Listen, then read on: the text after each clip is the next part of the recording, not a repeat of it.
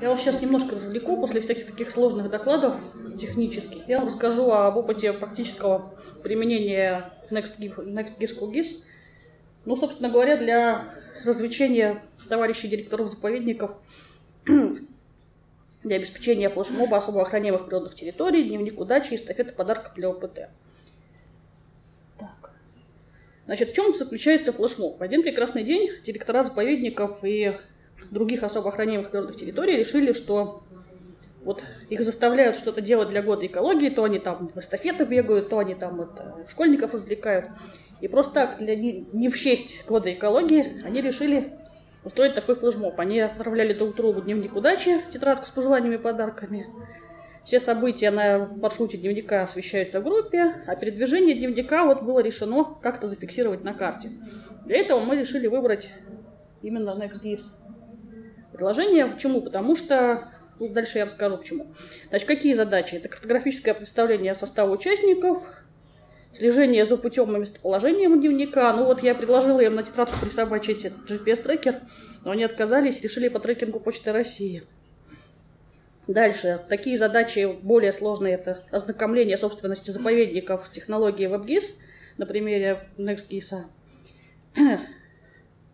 Ну, затем тестирование NextGIS в качестве инструмента по обмену информацией между заповедниками. Ну и, и такой еще был у нас задача так и нерешенное, это обновление слоя региональных особо охраняемых природных территорий, потому что его нет. Если федеральный как-то существует слой, то региональный, в общем, на Гислабе есть проект по его созданию, но он буксует там, в общем, конечно, слишком мало участников, слишком много этих региональных ОПТ, слишком сложная законодательная система. Там, в общем, не все вывешены на них документы, они, получается, что закрытые, что незаконно, но, к сожалению, это так. В общем, у меня была надежда, что регионалы сами себя отрисуют, и в таком случае это будет э, более открытая информация. Ну, значит, какие у нас были исходные данные? Переходим именно вот к открытым данным. Векторный слой ОПТ взяли от прозрачного мира, обновленный за 16 год. Сейчас уже есть новое обновление за 17 год. Вот наша карта знаменитая. Векторный слой это ОПТ особо охраняемых территорий регионального значения сайта GISLab – то, что там успело, то, что успели отрисовать участники. Трекинг почтовых отправлений, но это просто там написано там вот сегодня посылка находится в таком-то населенном пункте. Все на этом. И картографическая основа подложка это OSM. Почему был выбран сервис именно NextGIS? Ну, во-первых, потому что он очень наглядно и быстро переносит то, что нарисовано в настольном QGIS в WebGIS без, без каких-то отдельных телодвижений. Карта получается и все. Ну почему вообще, вообще на самом деле, почему вот так вот такая простота важна? Потому что в ОПТ не очень любят работать с гисами, вообще говоря.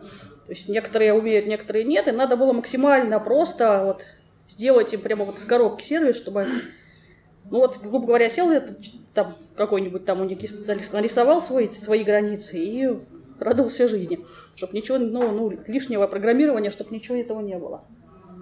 Сама карта была полностью оформлена в настолке, и потом перенеслась ну, просто вот одним нажатием кнопки. Я им всем показывала, как это делается. Видео сняла, выложила в группу. Прямо вот переносится в таком же виде в веб. Ну, дальше редактирование обновления. Это все вы знаете прекрасно. Ну и кроме того, все это бесплатно, что тоже для заповедников актуально. Они все, как правило, без денег.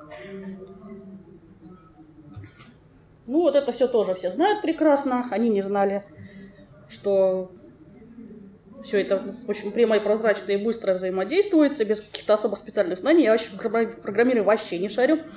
Но все это мне удалось поднять, в общем, без особо, без, без какой-то помощи и без всего.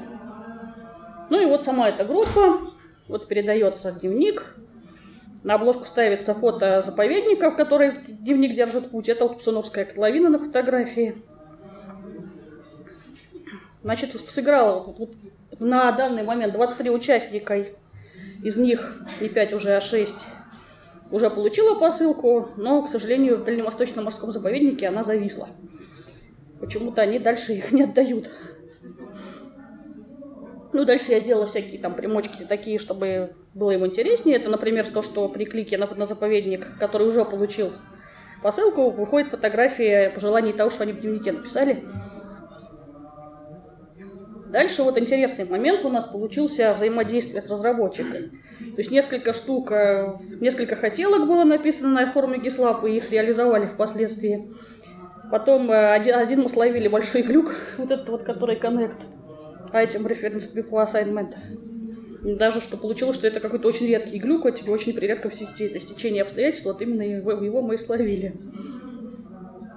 Вот, ну там какие-то такие технические вопросы, и все это у нас даже вот получилось в результате на реальном проекте. Некоторые хотелки вот там, высказанные, они были потом реализованы. Ну и дальше немножко расскажу тоже про то, что у нас происходило.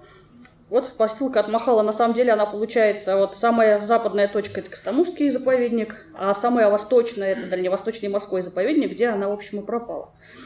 То есть она прошла всю Россию, причем несколько раз. Потому что сначала она пошла из Москвы в Денежкин камень, потом да, на Байкал, за Байкал, на Байкальский, в Байкальский заповедник, потом обратно, в Костомукский. То есть получается, что на всю Россию проехала два раза. На самом деле была еще идея планировать как-то логистический маршрут посылки, но ВПТшники на это не пошли.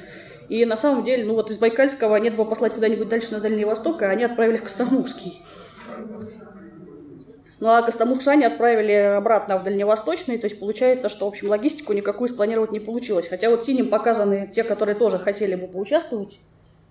Вот мимо них она туда-сюда и так и ходит.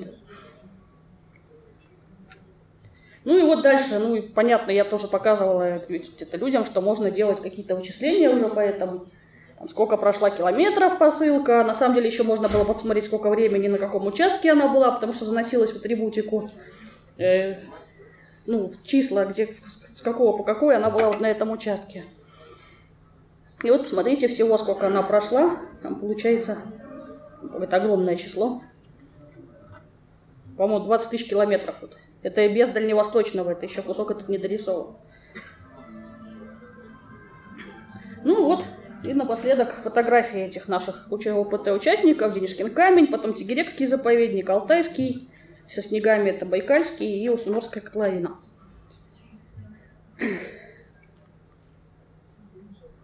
Значит, выводы какие? Что флешмоб, ну вот я пишу, успешно продолжается. На самом деле, вот не знаю, что делать с дальневосточным заповедником. Вроде обещали его это. Там у них слет в октябре, обещали его попинать.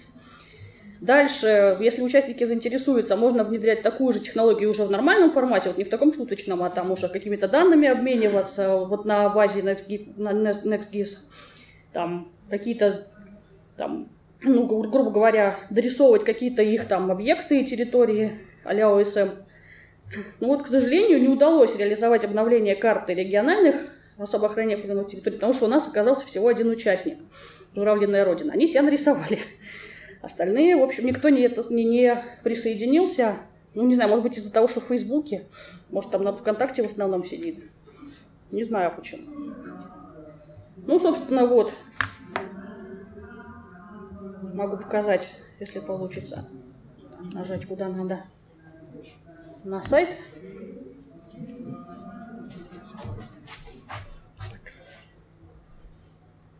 Ссылке просто перейти. А, там есть ссылка? Да, в конце, на последнем слайде. Которая? Да, да. Ну, веб-карта, да. Секундочку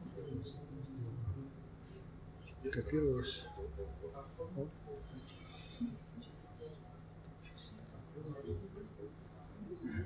Вот. В общем, это просто перетаскиваете тремя ну пальцами, ну, да. я показываю ага. и двумя пальцами на штат. Тремя, так, понятно. Тремя на штат, тремя перетаскиваете. Нажать просто один раз. Ну вот видите, простейшая карта. Там показан путь по трекингу, показан сам заповедник.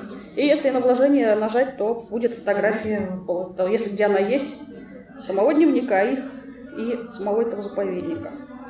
Ну вот сейчас посмотрим, например, Денежкин камень. Там у него вся атрибутика. Вложение.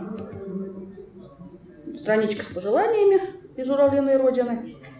И фотографии. Вот и все. Ну, то, есть, то есть я говорю, что очень простой сервис, но вот он, поскольку из коробки ставится и не профессионалом, то получилось очень даже интересно. Сопровождение такое, картографическое, флешмобу в Фейсбуке. Все. Спасибо за внимание.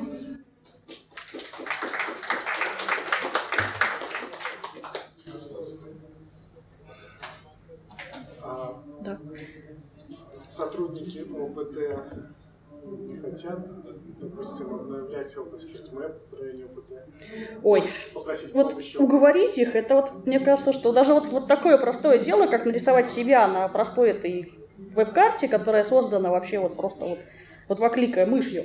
Даже это их не удалось уговорить. Конечно, я надеялась на то, что удастся их вот сподвигнуть на то, чтобы они свои эти заповедники сами обновляли ВСМ. Потому что, естественно, там все плохо с отрисовкой в границах заповедников, там туда попасть, попасть нельзя. Но вот, как показала практика, они вот, я говорю, даже вот до такого простого, чтобы себя посмотреть хотя бы и проверить на вот такой карте, и то они этого делать не хотят. А, почему? Кто-то считает, что вот он там недостаточно подготовлен. Вот, дескать, вот у нас нет гис-инженера, а там у нас только все одни там охотники и егеря.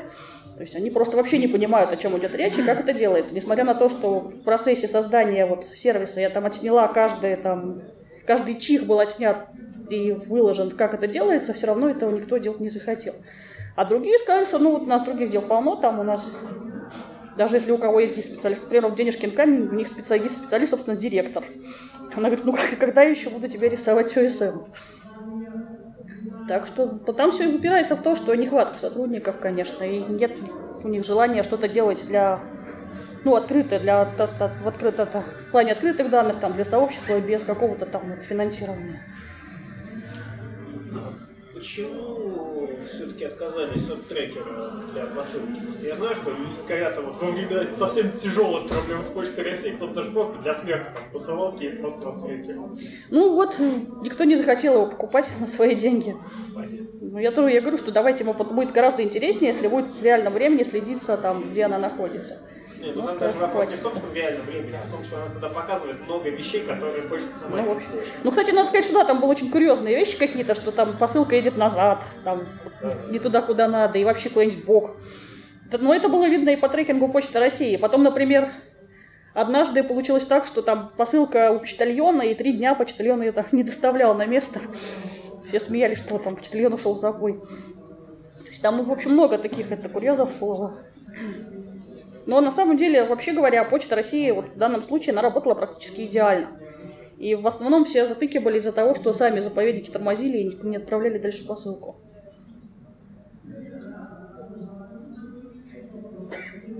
А, а вот эти линии, они отрисованы по дорогам или как? Ну, просто я нарисовала это, как я по железной дороге в основном. По трансибу там, по этим самым, просто глядя на железную дорогу, приблизительно предполагать, как оно пойдет там. Ну, там видно, вот по этим вот по трекингу, там видно, в каких сортировочных пунктах она находится. И там, в общем, в принципе, там по-другому не нарисуешь. Там. Все понятно, что она ехала по железной дороге и останавливалась в каких-то городах. А есть какие-то мероприятия для УБТ, чтобы вместе их собрать? Всех... Тьма тьмущая, особенно в этом году. У них же столетие заповедных, заповедной системы, они вообще это беспощадно тусуются. У них, по-моему, в этом году вот все время. Сказать. Ну, я надеюсь, что мне удастся таки рассказать. Во-первых, вот на их слете сейчас директоров вот Анна будет рассказывать Квашнина об этом же самом. И в Питере на открытый ГИС тоже, я думаю, что кто-нибудь из нас расскажет.